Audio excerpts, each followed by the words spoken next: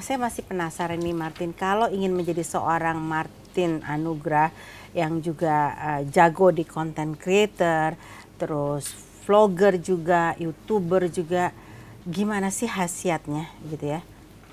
Um, mungkin saya ngelihat dari uh, dasarnya dulu. Yang paling penting harus kita harus kita gali adalah untuk membuat konten.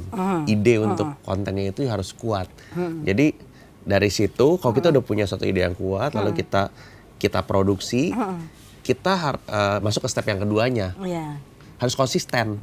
Jadi banyak kan uh, youtuber itu uh, nggak konsisten. Jadi dia pikir, oh kita bisa keluarin uh, konten yang ini, wah nggak banyak yang nonton. Jangan nyerah, Oh, harus konsisten terus. eh, terus terus produksi terus, Terus, ya, uh-uh. latihan terus juga. Latihan terus. Jadi setelah itu, setelah dia uh, banyak latihan dan dia terus im- im- improving terus, uh, yang berikutnya yang nggak kalah penting ya kalau menurut aku, dan salah satu yang terpenting mah bahkan nih untuk jadi rumus rumus, rumus sukses juga istilahnya rumus sukses jadi seorang youtuber atau Terus, content iya. creators adalah kolaborasi. Hmm.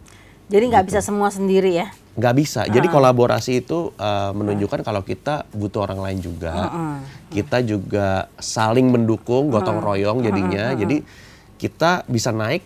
Youtuber ini bisa naik bukan karena satu youtuber, tapi karena semuanya semuanya saling berkolaborasi. Iya, jadi kolaborasi apa? Musiknya, Musiknya. liriknya atau apa? Iya, jadi Skripnya. Eh, jadi kalau misalkan kita punya ide apa, kita bisa berkolaborasi sama orang yang punya kelebihan yang lain. Oh, itu kalau iya. misalkan untuk membuat membuat konten, tapi bisa juga kita bisa cameo project. Cameo project bisa eh, berkolaborasi dengan YouTube channel yang lain. Dengan Last Day Production atau Skin Indonesia mungkin atau Chandra Liao. Jadi kita berkolaborasi gitu loh, bikin konten eh, Iya. satu konten satu konten gitu. Justru itu ya di sana letak ininya ya. Iya betul itu salah satu kuncinya sih.